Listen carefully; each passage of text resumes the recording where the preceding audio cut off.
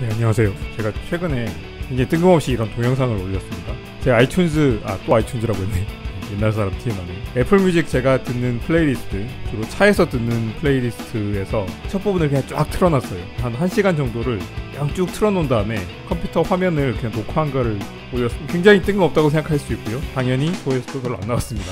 이거 어떤 거냐면 예전에 제가 고등학교 때도 그런 거 많이 했었는데 그때 이제 카세트 테이프였죠. 나이가 또 나오는데. 그 좋아하는 노래들을 모아서 mixed tape라고 부르죠. 영어로는. 그런 거 만들어가지고 친구들한테 들려주기도 하고 막 그랬는데 그거를 제가 좋아하는 노래들을 모아놓은 그 플레이리스트가 있으니까 그냥 그거를 쭉 틀어놓고 말하자면 이게 혹시나 저랑 취향이 비슷한 분이 있으면 그냥 뭐 배경음악으로 틀어 놓으실 수도 있는. 근데 경험상 그런 분이 많지는 않습니다 사실. 보, 통 본인이 좋아하는 거 위주로 하면은 그 정확하게 취향이 같은 경우가 많지는 않은데. 제가 좋아하는 노래도 소개하는 거다 그러는데 너무 무슨 멘트도 없이 그냥 노래만 쭉 나오니까 되게 이거 거의 무슨 기록용으로 이렇게 한 거고요. 파트 1이라고 했는데 파트 2가 나올지 뭐 3가 나올지는 전혀 모르겠습니다. 일단은 제가 해본 거고요. 이거를 이제 유튜브에 올렸다고 하면은 당연히 저작권에 대해서 걱정하시는 분이 계실 텐데 그 제가 전에 다른 영상에서도 그런 거를 잠깐 소개했었는데 이 저작권 문제가 크게 문제는 없습니다. 왜냐하면 이 구글이 너무 똑똑해가지고 생긴 일인데 여기가 지금 그러니까 제 페이지에서 이 동영상에 대한 정보가 나오고 있는 그런 건데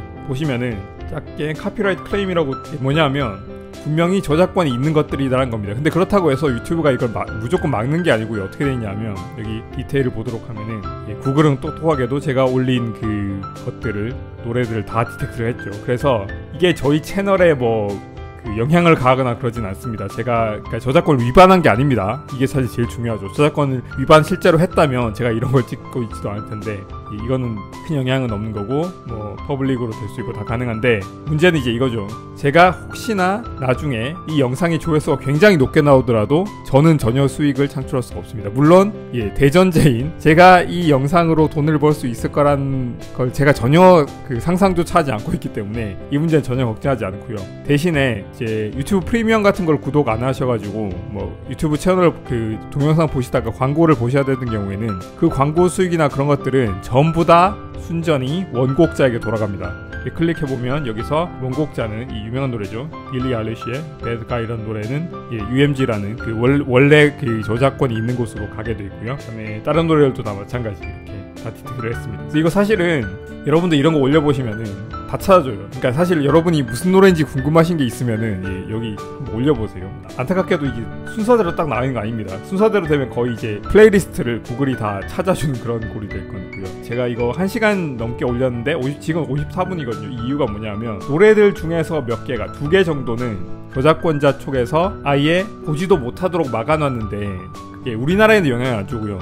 특이하게 덴마크에서 제가 플레이한 노래 중에서 청하의 벌써 12시라는 노래와 그다음에 겨울왕국의 Let It Go 그 두 개는 덴마크에서는 이게 광고 수익이 그쪽으로 그러니까 원 저작권 자에게 가더라도 플레이할 수도 없다고 돼 있기 때문에 이런 것들이 이제 국가마다 정책이 더 다르기 때문에 그렇게 생긴 일이겠죠. 그래서 됐는데 그 사실 나중에 깨달았어. 이거 덴마크에서 보는 분이 얼마나 되겠습니까? 별 신경 안 썼을 것 같은데 전 처음에 그거를 우리나라에서도 못 보게 한다는 말인 줄 알고 그 두 개는 여기서 보시면은 뭐 이렇게 할 수 있어요. select action 보시면은 그 부분 아예 저작권에 문제가 되는 부분을 잘라낼 수 있도록 하거든요. 이런 것도 제공하고 있기 때문에 제가 그 두 개 노래 청하의 벌써 12시와 겨울왕국 OST 이디나 멘젤의 Let It Go는 그냥 날려버렸거든요. 그래서 지금 54분으로 이렇게 돼 있는 상태입니다. 그 사실은 이거는 그냥 2020년 들어서 제가 화면 녹화를 통해서 그러니까 제 나름대로 mixtape를 만들어서 혹시나 노래 새로운 거 들어보시고 싶으신 분들은 근데 뭐 옛날 노래가 대부분이긴 한데 제가 요즘 어떤 노래 듣는지 혹시나 관심 있는 분 있으시면 들어보시라 그런 뜻으로 한 건데